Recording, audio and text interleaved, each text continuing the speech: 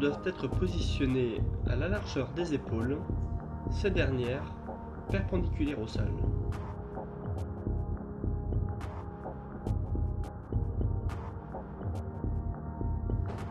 Trouvez votre point d'équilibre, ni trop penché en avant, ni trop penché en arrière.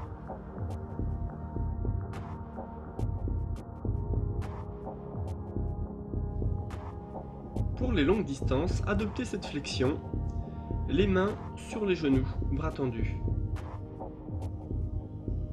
Pour un sprint, fléchissez plus, plus vous serez bas, plus vous développerez de la puissance et gagnerez en vitesse. Cette flexion sera de l'ordre de 90 degrés.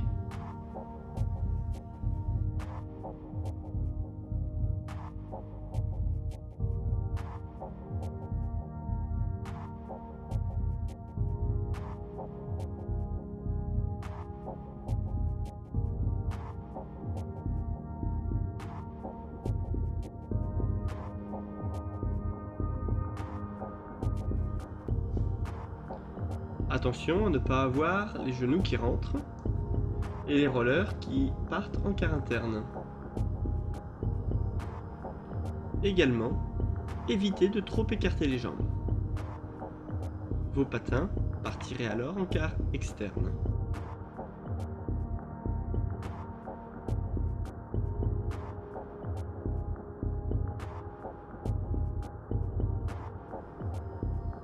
Vos épaules doivent bien rester parallèles au sol. Faites attention qu'elles ne vrillent pas. Trouvez le juste équilibre, ni trop penché en avant, ni trop penché en arrière.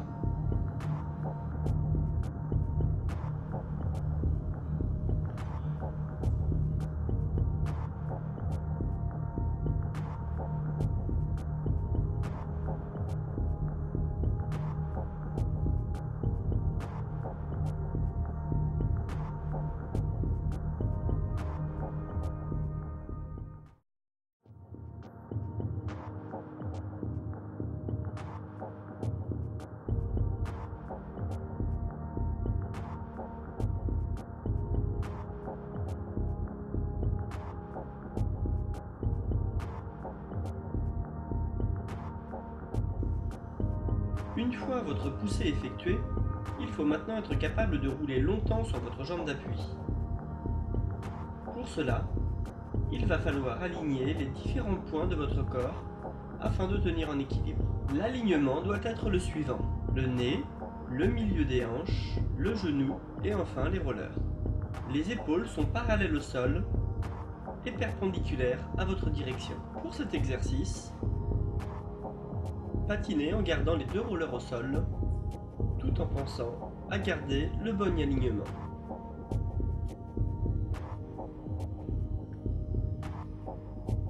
Sur chaque foulée, décollez légèrement la jambe tendue afin de rester en équilibre sur la jambe d'appui.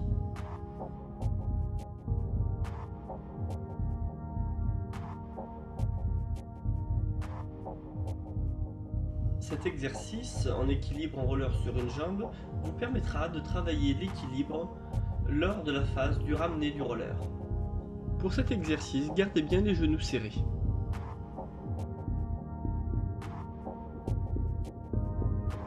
Pour cet exercice, alternez l'équilibre jambes tendues côté et l'équilibre genoux joints.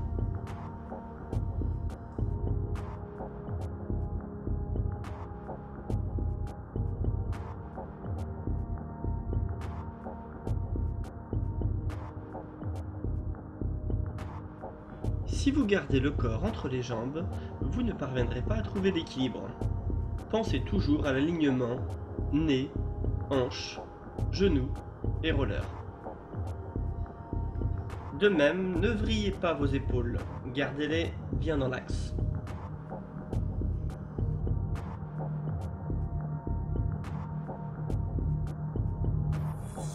Ne posez pas votre roller en quart externe.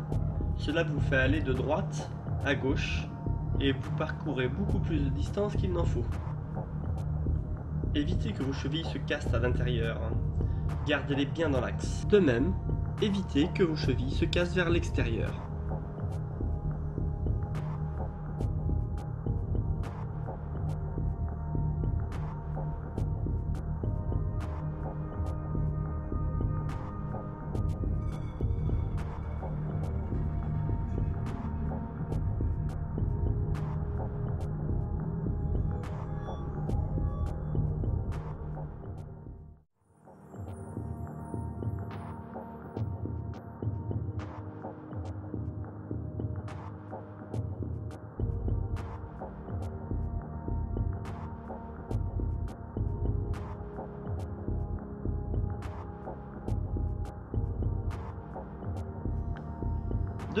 De base, il va maintenant falloir vous propulser afin de pouvoir avancer. Poussez latéralement, jambes tendues.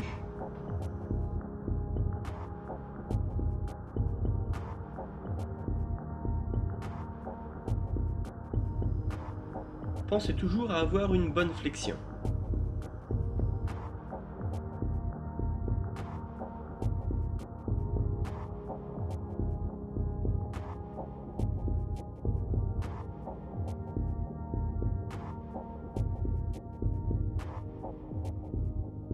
Attention, ne poussez pas vers l'arrière, vous perdrez beaucoup en efficacité.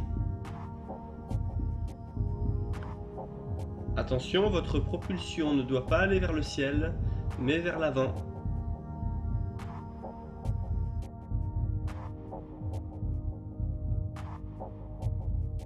La poussée ne s'effectue pas seulement avec la force des jambes, mais aussi avec le poids du corps. Pour cela, soyez tenu par un autre patineur et laissez tomber votre poids du corps. Attention à ce qu'il n'y ait pas de cassure entre vos jambes et votre haut du corps. Restez bien dans l'axe.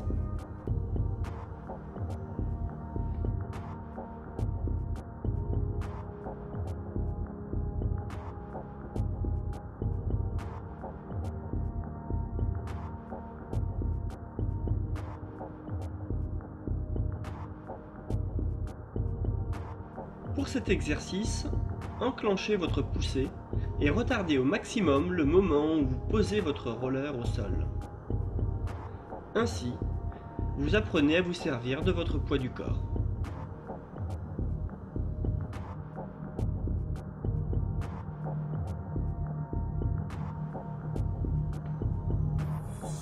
Ce type de patinage n'utilise pas du tout le poids du corps.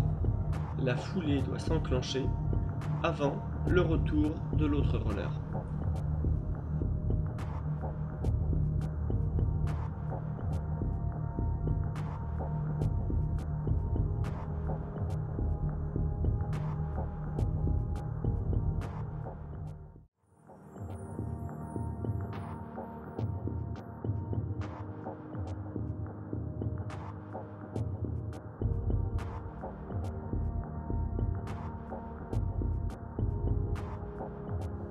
Cette phase de transition est très importante car elle va déterminer le positionnement de la jambe d'appui et entraîner l'enclenchement de la poussée.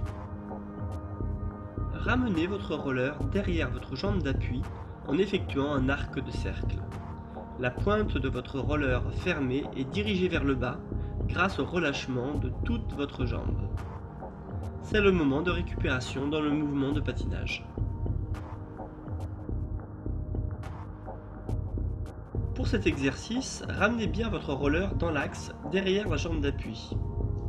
Dans un deuxième temps, joignez vos genoux, puis enfin, enclenchez votre poussée.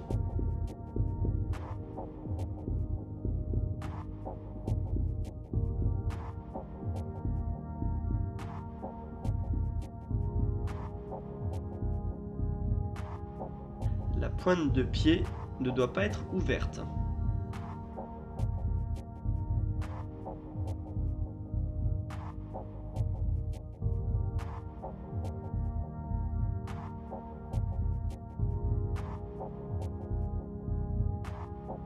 Pensez bien à serrer vos genoux afin de bien ramener votre roller dans l'axe.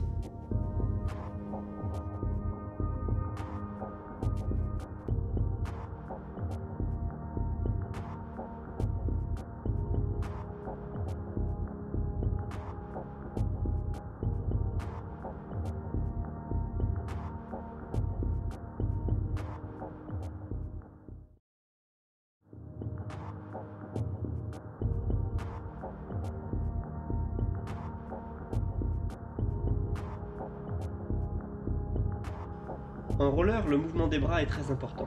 Il coordonne celui des jambes et doit donc être en harmonie avec ces dernières.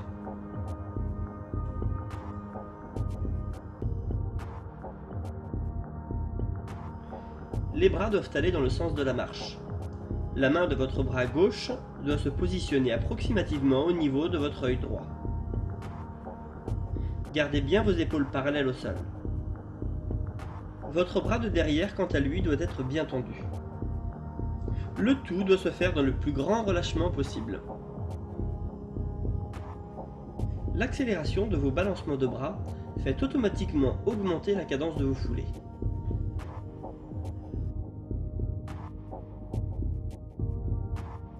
Ne positionnez pas votre bras de devant tendu, mais gardez-le un petit peu fléchi. Faites attention que le balancement de vos bras n'occasionne pas un mouvement de votre corps de haut en bas. Cela vous fatiguerait pour rien. Faites attention que le mouvement de vos bras n'occasionne pas un vrillement de vos épaules. Ne soyez pas trop crispé.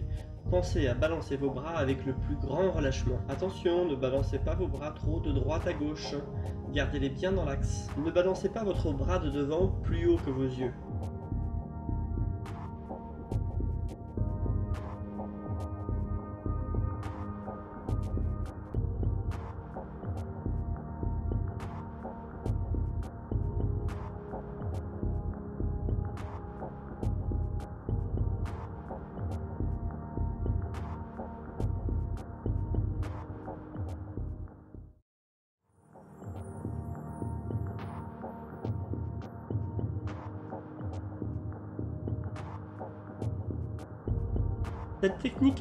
Par certains patineurs de haut niveau. Avant de vouloir essayer de la réaliser, il est indispensable d'avoir de bonnes bases de patinage et de ne pas sauter des étapes.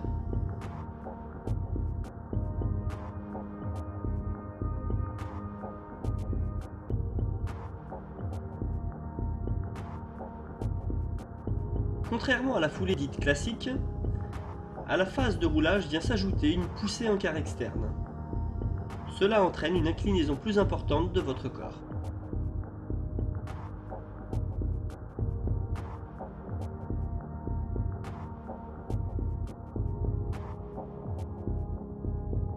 Positionnez votre jambe d'appui au niveau de votre épaule, soit un peu plus large que pour la foulée classique. Exercez alors une poussée simultanée des deux jambes. À la fin de cette dernière, vous retrouverez le positionnement initial de la foulée classique. La poussée en quart externe, quant à elle, se poursuivra tandis que l'autre roller revient dans l'axe jusqu'à croiser l'autre roller. Cela aide alors à rebalancer le corps pour la poussée en quart interne. Cet enchaînement de deux poussées successives peut rapidement faire mal aux jambes. Un total relâchement est important afin de bien récupérer dans la phase de ramener du patin. Cet exercice vous permet de vous habituer à prendre de l'angle en quart externe. Vous pouvez le faire à l'arrêt ou en roulant. Attention, pensez à bien garder l'eau de votre corps dans l'axe de vos jambes.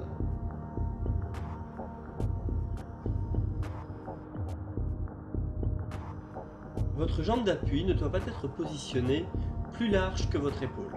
Pour être efficace, la poussée en quart externe doit se poursuivre jusqu'à dépasser l'axe central de votre corps.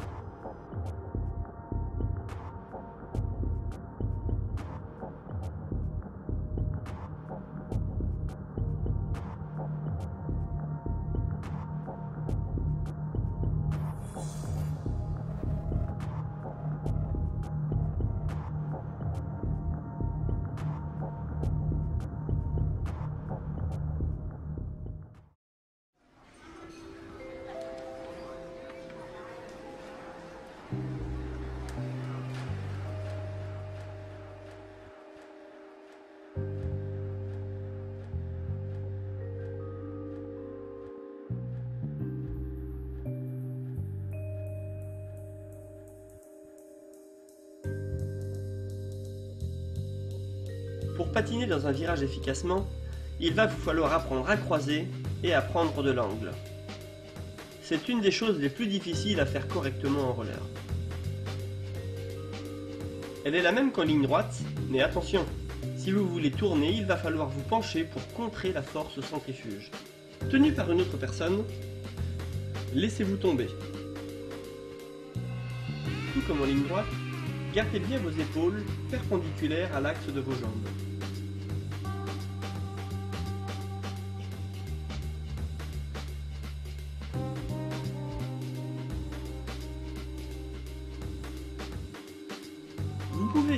Cet exercice en roulant. D'abord en ligne droite, puis en virage.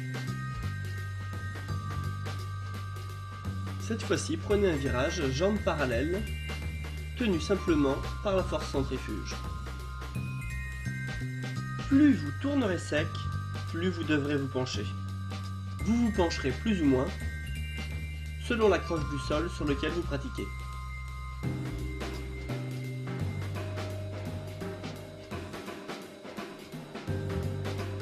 Mettre le pied gauche trop en avant, vous perdrez en stabilité. Surtout ne mettez jamais vos deux rollers en quart interne, sinon vous ne pourrez jamais tourner correctement. Gardez bien votre corps perpendiculaire au rayon de virage, ne le tournez pas trop à l'intérieur.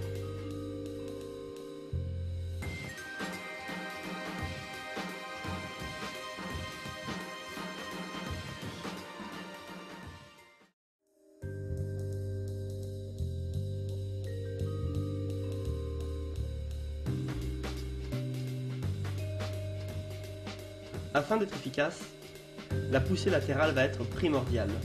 Sans cela, vous pousserez dans le vide. Vous pousserez donc une fois en quart interne et une fois en quart externe. Tenu par un autre patineur, cet exercice vous permet de prendre de l'angle et de pousser de la jambe extérieure. Pensez bien à ne pas casser l'axe entre le haut du corps et la jambe.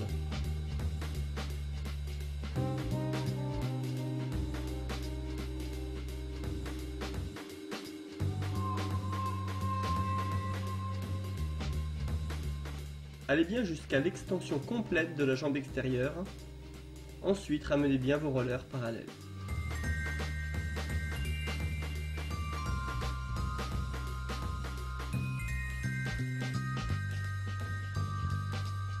Évitez au maximum de pousser du bout du roller. Gardez le plus longtemps possible les quatre roues au sol.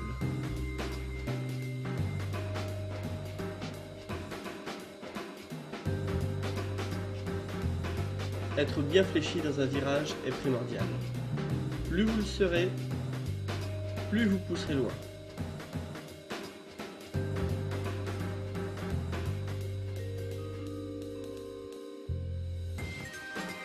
Pour la poussée, le travail sur un 8 est un bon exercice de synthèse. Vous pouvez le faire soit en poussant uniquement de la jambe extérieure, ou bien en croisant normalement. De plus, l'exercice sur un 8 vous permet d'apprendre à croiser d'un côté et de l'autre.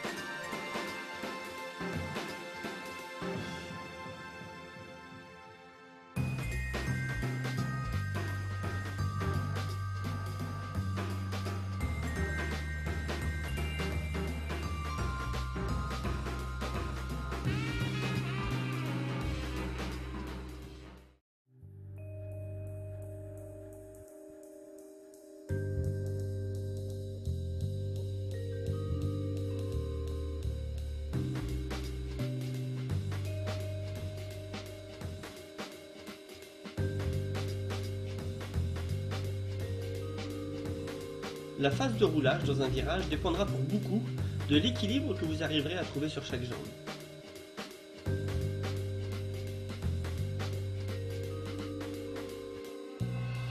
Cet exercice sur une jambe tenue par un autre patineur vous permet de vous entraîner dans les conditions d'un virage à grande vitesse. Vous pouvez le faire sur la jambe intérieure, mais également sur la jambe extérieure. Exercez-vous ensuite à le faire sans être tenu. Pensez toujours à garder vos épaules perpendiculaires à l'axe de votre corps.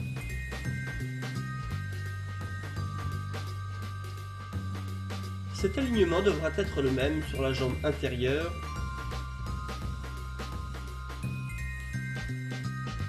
Pour cet exercice, vous pouvez enchaîner deux phases de poussée, une phase de roulage, et ainsi de suite.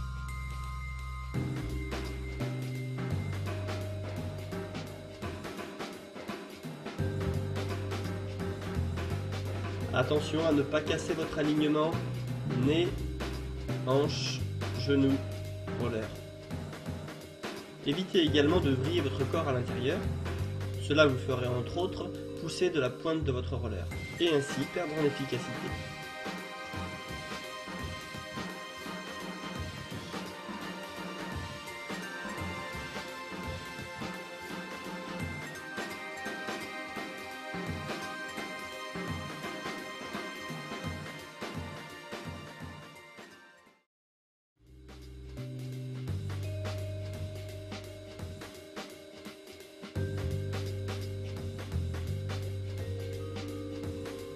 De transition permettra de définir le moment et l'endroit où vous poserez votre roller au sol.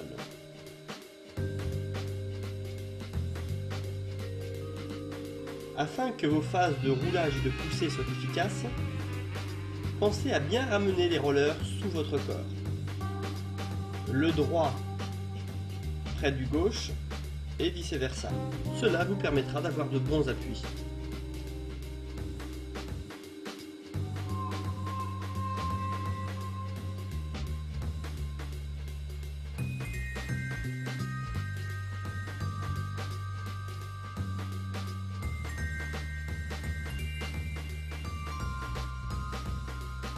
Attention, si vous ne ramenez pas correctement le roller sous votre corps, vous aurez tendance à attaquer du talon.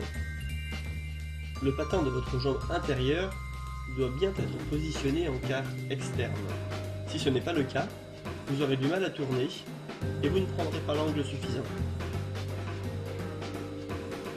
S'il ne faut pas poser votre roller trop en avant, il est également déconseillé de le poser trop à l'intérieur.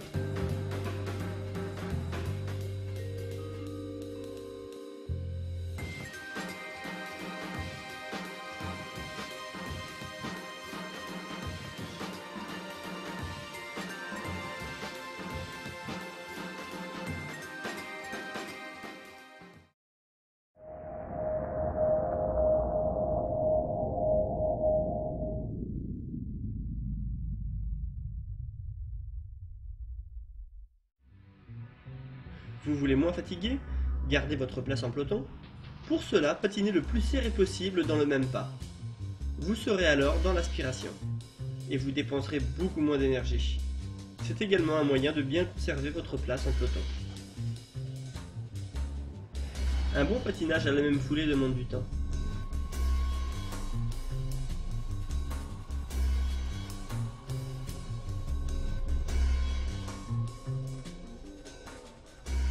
Afin d'être plus à l'aise en peloton, régulez la distance avec l'athlète vous précédent en posant votre main sur son bas du dos.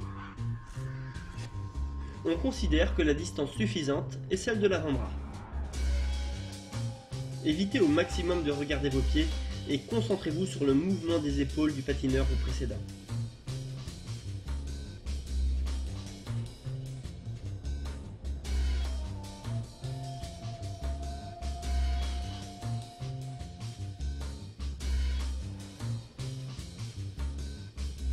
Patiner à la même foulée dans un virage est un petit peu plus compliqué qu'en ligne droite.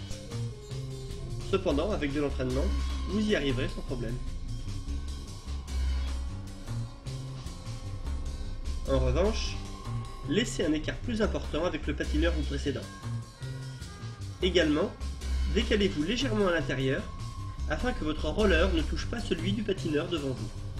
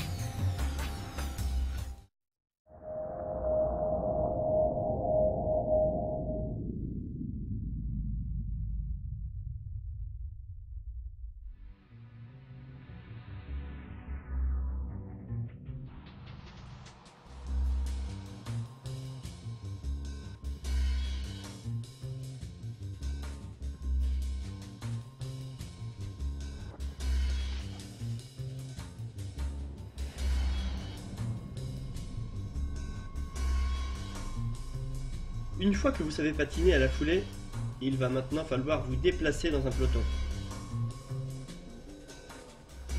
Pour sortir du peloton, laissez un espace avec le patineur vous précédent, puis prenez de la vitesse pour doubler.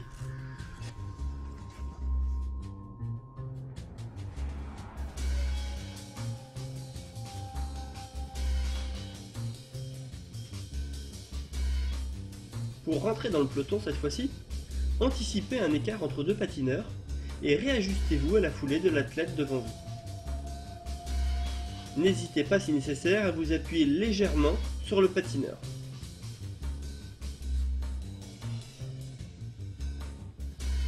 Il existe énormément d'exercices pour se déplacer en peloton. Celui-ci est un exemple parmi d'autres. Passez de la dernière position à la deuxième puis repassez en tête immédiatement.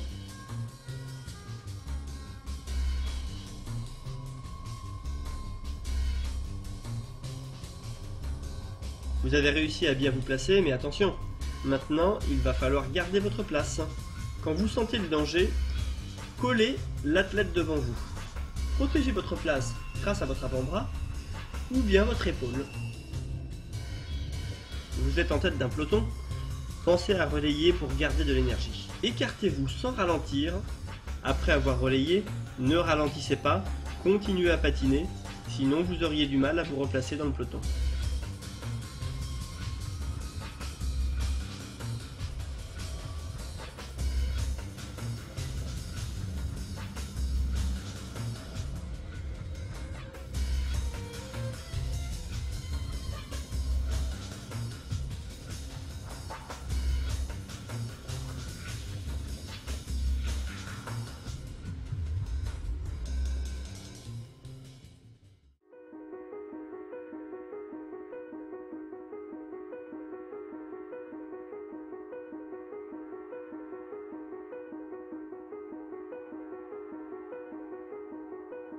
Piste ou sur circuit routier, la trajectoire que vous choisirez sera primordiale et déterminante pour votre placement final.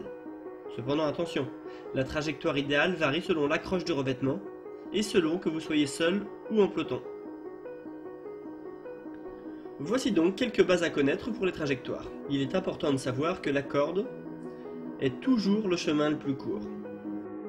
Cependant, afin de ne pas trop subir la force centrifuge et glisser, vous devrez arrondir votre trajectoire.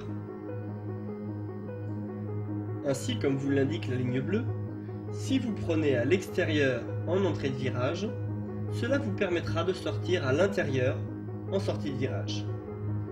De la même façon, comme l'indique la ligne rouge, si vous entrez dans le virage à l'intérieur, vous sortirez du virage à l'extérieur.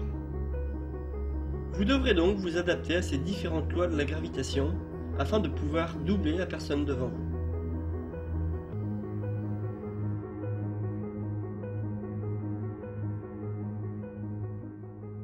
Parmi de nombreuses façons de doubler, en voici deux que vous pourrez utiliser aisément.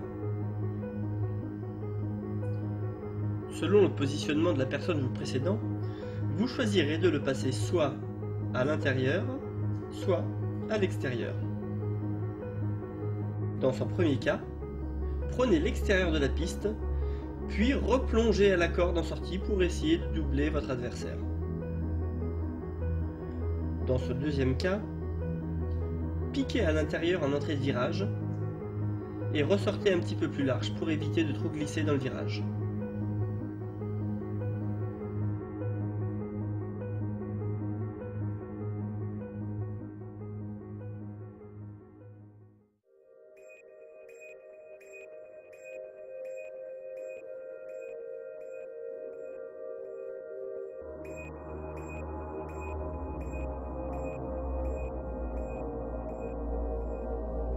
La pliométrie est une autre façon de travailler votre technique. Voici quelques exercices de renfort musculaire qui reprendront les gestes préalablement enseignés sur vos rollers. La position de base. Les jambes doivent être positionnées à la même largeur que les épaules.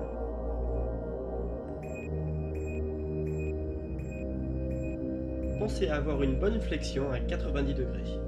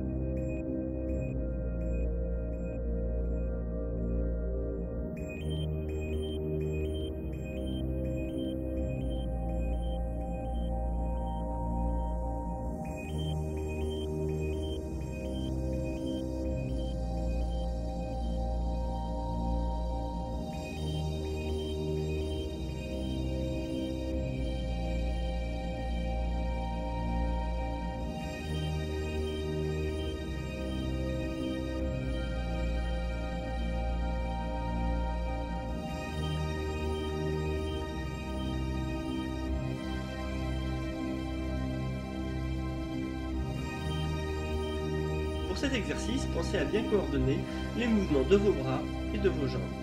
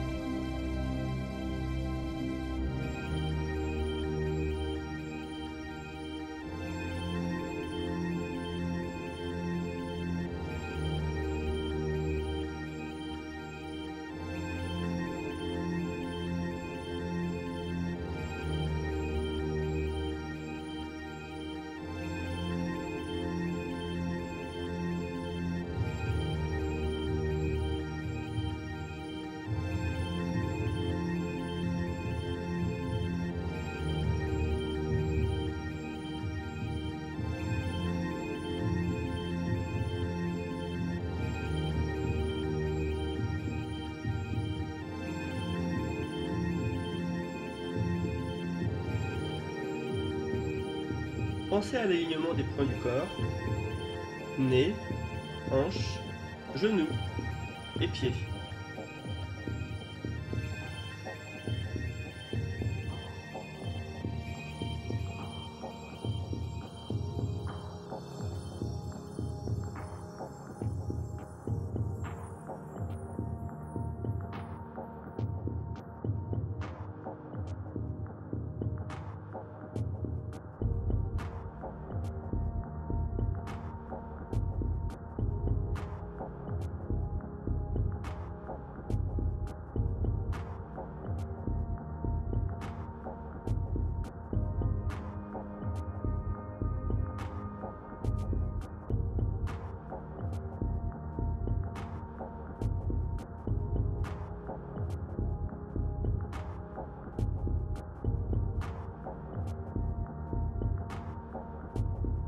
Ces exercices vont vous aider à travailler la technique pour les virages.